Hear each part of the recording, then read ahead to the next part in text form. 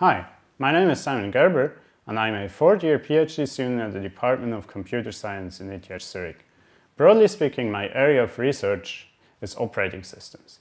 Our work on operating systems is motivated by a couple observations about trends in hardware design.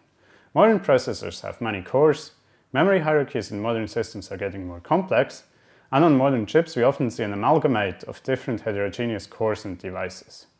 To address these observations, the core of our research operating system, Barrelfish, is designed as a distributed system where we run a kernel on each core and keep the global OS state synchronized.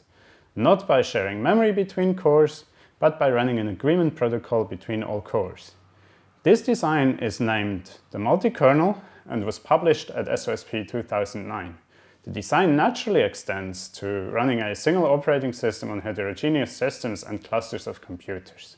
My research is about managing resources, such as physical memory, interrupt vectors, etc.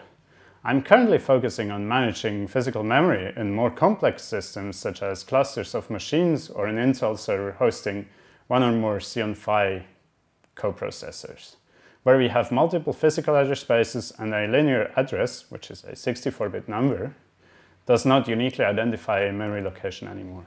We use region identifiers to uniquely identify physical memory locations.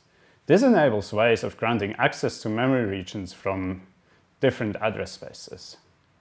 You can find more information about Barrelfish on our website barrelfish.org. For other things that I do, you can look at my personal homepage. To get in contact with me, send me an email at simon.gerber at inf.ethz.ch.